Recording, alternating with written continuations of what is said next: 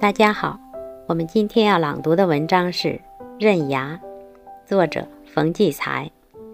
治牙的华大夫，医术可谓顶天了。您朝他一张嘴，不用说哪个牙疼，哪个牙酸，哪个牙活动，他往里瞅一眼全知道。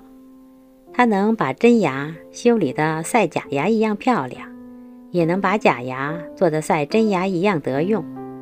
他哪来的这么大能耐？废猜。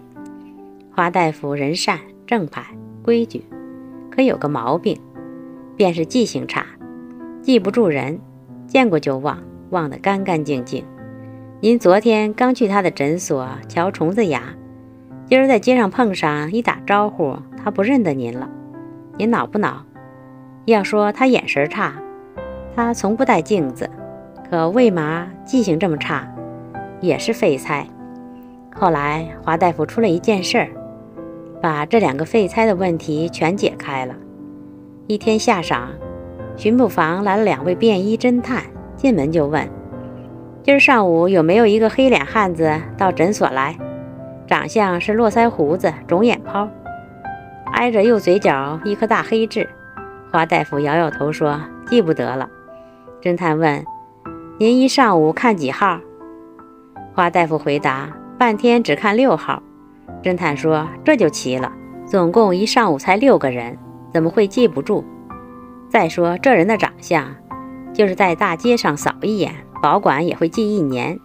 告明白你吧，这个人上个月在孤衣街持枪抢了一家首饰店，是通缉的要犯。您不说，难道跟他有瓜葛？华大夫平时没脾气，一听这话，登时火起，啪一拍桌子，拔牙的钳子在桌面上蹦得老高。他说。我华家三代行医，治病救人，从不做违背良心的事。记不得就是记不得。我也明白告诉你们，那祸害人的家伙要给我瞧见，甭你们来找我，我找你们去。两位侦探见牙医动怒，呲着白牙，露着牙花，不像装假。他们迟疑片刻，扭身走了。天冷了一天，华大夫真的急急慌慌跑到巡捕房来。跑得太急，大褂都裂了。他说：“那抢首饰店的家伙正在开封道上的一湖春酒楼喝酒呢。”巡捕闻之，马上赶去，居然把这黑脸巨匪捉拿归案了。侦探说：“华大夫，你怎么认出他来的？”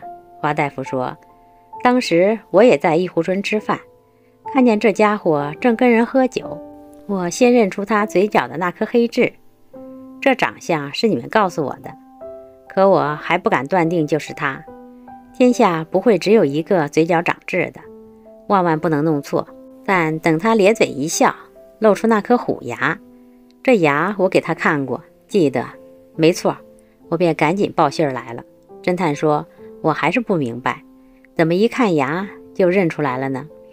华大夫哈哈大笑说：“我是治牙的呀，我不认识人。”可认识牙呀？侦探听罢惊奇不已。这事儿传出去，人们对他那废猜的事儿全都明白了。他记不住人不是毛病，因为他不记人，只记牙。治牙的，把全部心思都使在牙上，医术还能不高？